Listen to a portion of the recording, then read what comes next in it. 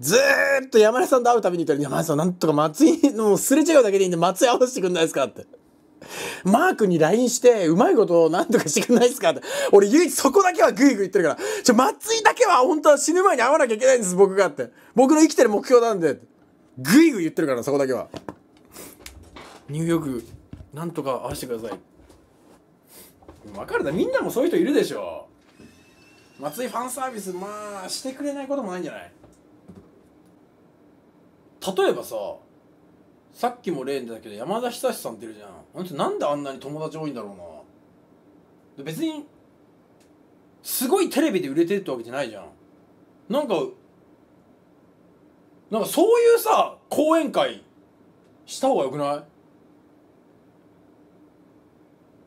い？えでもさじゃ人脈だって言うけどさその人脈作れるのってすごくない？懐に入るのがうまいのかな？そういう人ってやっぱあんまいないと思うんだよな。みんなどこかコミュ障ですとか。ずうずしいだけどさぽいなんか。それって特殊だよね。そう空手家入江とかさ。すごくない？絶対できないわ俺。すごくない？いや俺もやっぱお前の苦手なグーグー。いやそういうタイプじゃねえんだよ。そういうタイプでもないの。なんかすごいあれなんだろうな。懐に入るのがうまいんだろうな。入江さんとかさ。聞きたくなるよね。確かにそれで講演会で稼いでるって言われても納得できるわ。だって実際そういうふうにさなってるわけだから。俺だけじゃなくてみんなそうじゃない？たまにいるじゃん。めちゃめちゃ知り合い多いやつ。あれ得だと思うんだよな。すげえ得じゃない？普通にその芸能人とかに限らずいない？付き合いが浅いのかな？逆になんで番組終わって飲みに行かないの？なんかめんどくせえから。めんどくせえじゃん。家帰りてえじゃん。俺だから音楽王もそうだけど今レギュラーでやってる日本ともそうだけどエンディング流れ、もうみんながアンケート押す頃には俺も JAL さんの車の中ぐらいで行けたからな。お疲れ様でしたっつって。誰よりも早く。なんかでも嫌じゃん。自分がさ、一人の時間大好きだからさ、え、この後飲みに行かないっすかってなかなか、全 然でもね、もう山田さんめっちゃ寂しがり屋だろ。だから、もう絶対に、あのー、ご飯を誘ってもらえるのは絶対、毎回番組共演するためにご飯誘ってもらうから、もう最近は、もう全部絶対俺から誘うようにしてる。もうどう、もう、だ、行きたくない時だってあるよ、そりゃ。絶対に誘われるって分かってんだったら、だったらもう俺から誘った方が、後輩、後輩がから誘った方がいいじゃん。だからもう全部会う日は、もう必ず俺は、もう一週間前に山田さん、今度の金曜日、えー、番組出させていただきます。なんで、こういう飯連れてってくださいって、もう全部言うようにしてるわ。こういう飯連れ、連れてってくださいって。俺からリクエストしてる。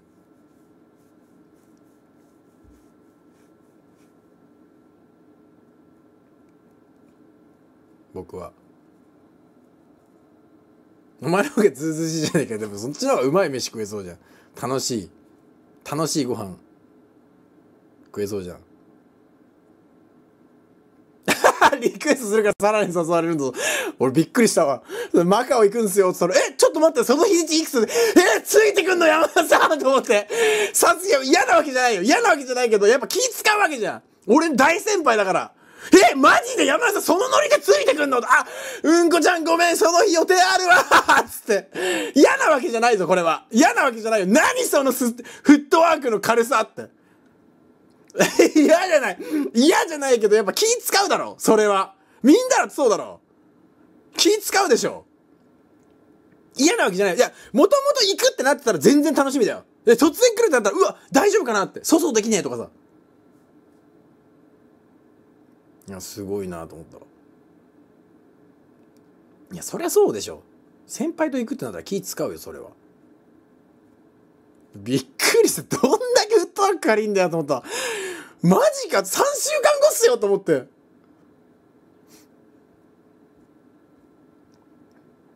やっぱねあの美味しいご飯。俺はさもう決めてるのね。俺これ28日から10月の1日までマカオ行くんだけど何しに行くかって何もしないよね俺は。行って朝起きてもう朝起きないの。昼まで寝てね。特に観光もしないの。街中ブラブラ歩いてでエステ行ってエステって言ってもあの風俗ね エステ行ってで帰ってきてまあそう女買って帰ってきてまあカジノもちょろっとまあね1時間2時間やってまあ配信できたら配信してみたいなで次の日もでも夜もお酒飲まないので次の日も昼12時ぐらいまで寝て起きて街中ブラブラしてみたいな。本当に何もせずにブラブラしてたんだよ。もう山田さんで行くと、分刻みなの。明日7時、えー、7時起きだから、えっ、ー、と、5時半まで飲むよ、みたいな感じで、まず外飲みに行くじゃん。で、帰ってきて、うくちゃんまだ寝ないっしょ。いや、じゃ家で飲もうか、つって部屋で、部屋で飲んで、よし、じゃあ、じゃ寝て寝て、みたいな感じで、もう、異次元な疲労が溜まるのね、やっぱ。そういうのもおもろいよ。そういうのもおもろいよ。で、そういう風に、1週間インディアナポリス行って、俺2週間体調悪かったのに帰ってきて。2週間俺体調悪かったの。はぁ、もうダメだ体が言うこと聞かねえみたいな放送できなかったの俺。旅行アスリートなの。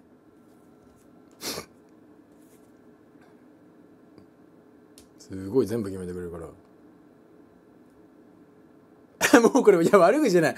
そういう楽しさってめっちゃあるじゃん。いや、嬉しいよ。だってそうやってさ、俺のためにそうやってさ、お店とか準備してくれて、多分すごい善意でさ、いや、うんこちゃんこういうのも見に行こう、こういうこともしよう、こういう話もしようって俺めっちゃ嬉しいから。嬉しいけど、その、別に、そういう時じゃない時もあるでしょ、別に。友達と遊んでぶ楽しさもあったり、その先輩と頼む、遊ぶ楽しさもあったり、みたいな。嬉しいよ、そりゃ。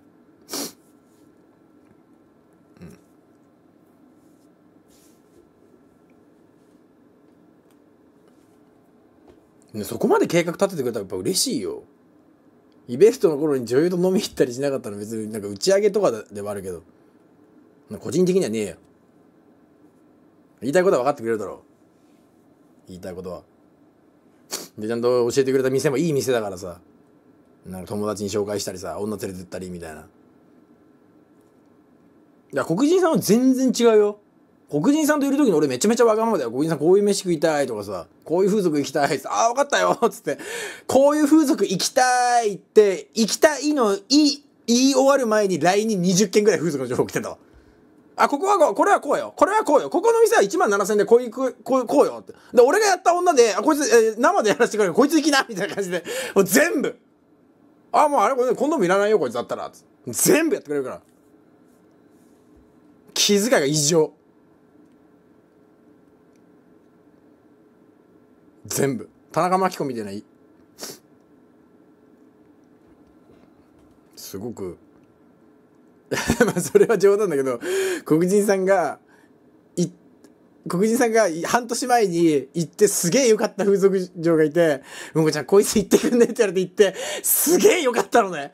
で、その話ずっとした黒人さん、あいつめっちゃいいっすねつって、俺自分のコミュニティ宣伝してきたんで、あいつの明日のブログチェックしといてくださいって言ったら黒人さんがそれチェックして LINE 送ってきて、うんこちゃん、めっちゃ褒めてたよつって、そういう話してます。そういう話してます。2人でケタケタ笑いながら。みどりさんはそういう遊び付き合ってくんねえからさ。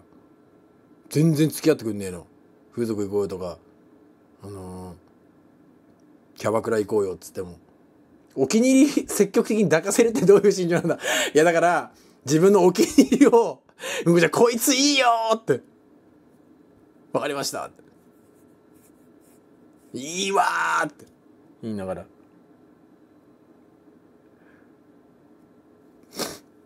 いいわって。そう分かち合分かち合いたいっていうかものすごい気遣い。あの人ほんとすごいと思うご飯もなんか美味しいとこ連れてってくれてさ。